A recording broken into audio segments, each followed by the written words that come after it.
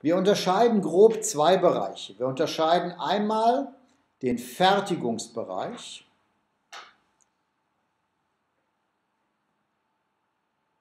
Sie sehen gleich, warum, warum wir diese Unterscheidung treffen. Fertigungsbereich und das andere Planungs- und Kontrollarbeiten.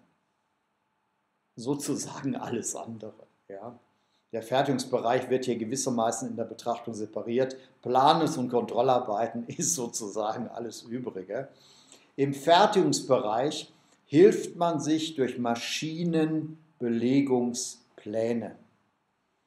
Durch Maschinenbelegungspläne. Hilfe durch, bei dem Fall geht es runter. Hilfe durch, nee, nicht da, sondern links daneben. Sie haben notiert, Fertigungsbereich links, darunter ist ein Pfeil. Und unter darunter schreiben wir einfach, aber links, da, genau, Maschinenbelegungspläne.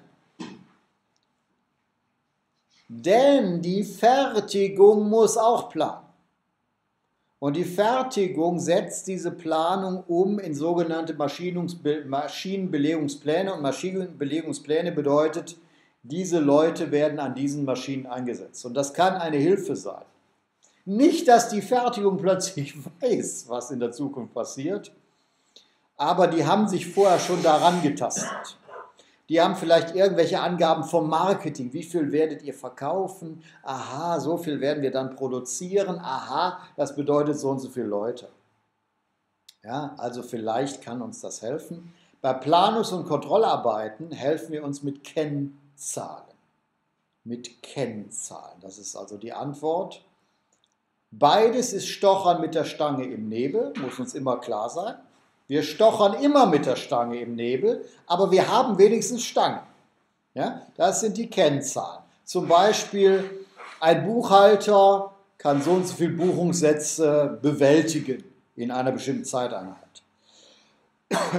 Wenn wir jetzt mehr verkaufen, werden wir so und so viel mehr Buchungssätze haben, werden wir so und so viel mehr Buchhalter brauchen. Das sind Kennzahlen, mit deren Hilfe wir uns daran tasten. Stochern mit der Stange im Nebel, aber immerhin, wir haben Stangen.